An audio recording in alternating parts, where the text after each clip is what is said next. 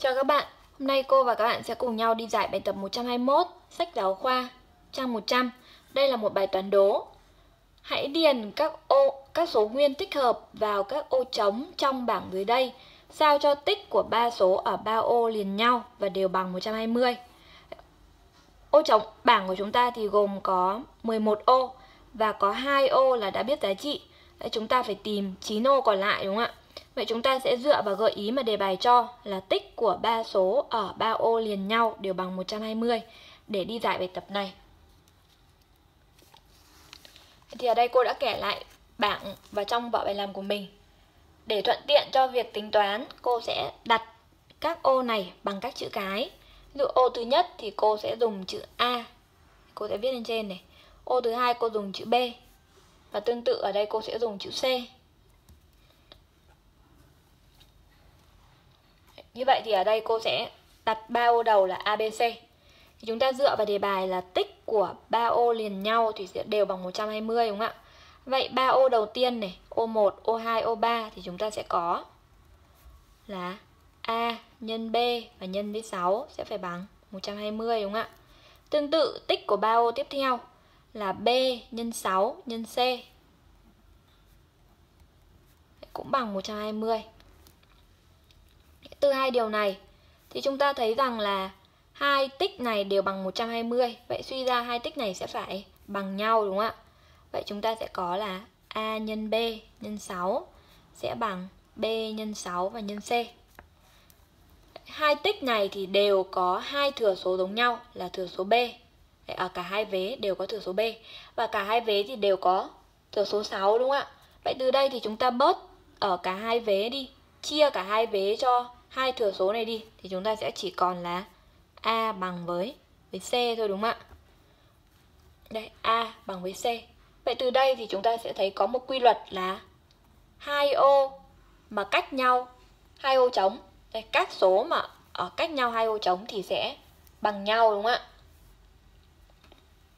Đây, OA và OC cách nhau hai ô trống thì sẽ có giá trị bằng nhau. Đấy, đấy chính là quy luật của bảng này. Vậy từ đây thì chúng ta sẽ thấy được là 6 này.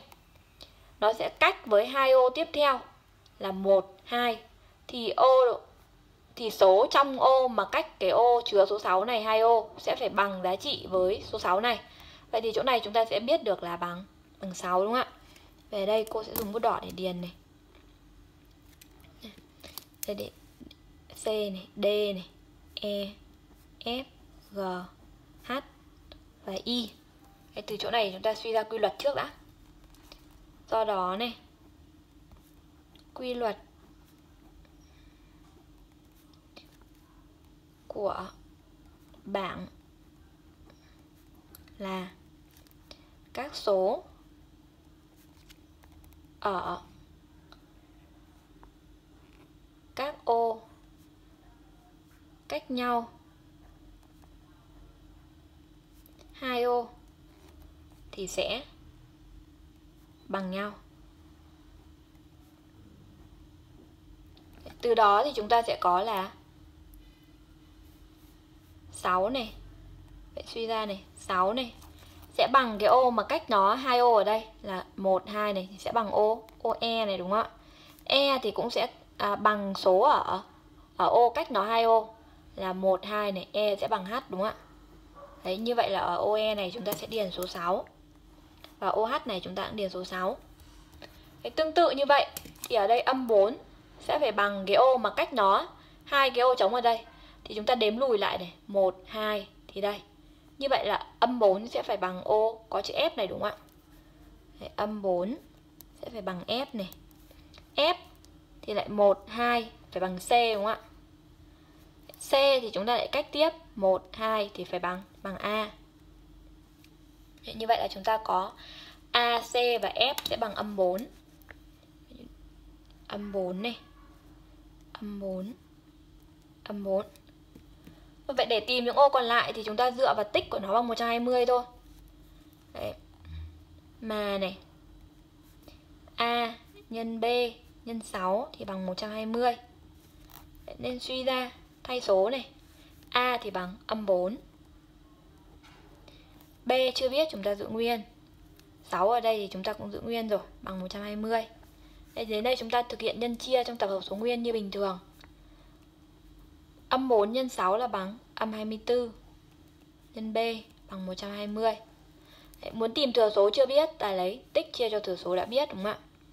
Vậy chỗ này chúng ta được là bằng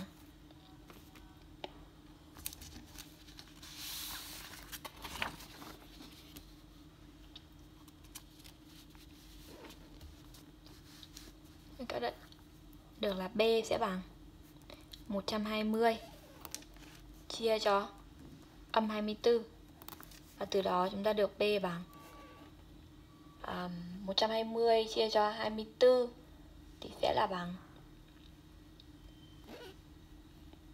bằng âm 5 đúng không ạ? Đấy. mà B thì lại cũng có quy luật là à, bằng các số mà cách nó hai ô. Thế thì ở đây B sẽ phải bằng D này bằng G và bằng Y thì đây chúng ta có B bằng D bằng G và bằng Y và rõ ràng là bằng âm 5 đúng không ạ? Vậy các ô trống còn lại chúng ta cần điền là âm 5 này.